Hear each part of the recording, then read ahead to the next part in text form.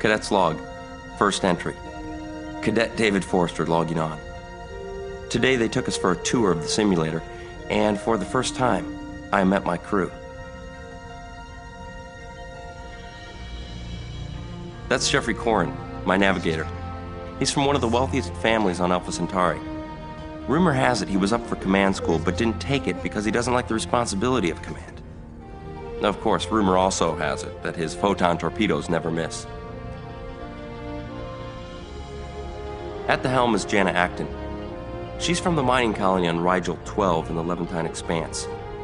She hasn't had an easy life. They live pretty rough out there, especially by Federation standards. My engineer is Robin Brady, from Colorado, on Earth. He's a quiet guy, but I'm told he can tear apart and rebuild a warp drive in record time.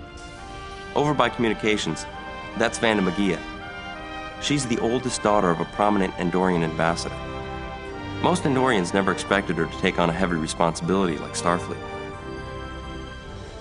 My science officer is from Vulcan. I worked with him in some computer classes last year.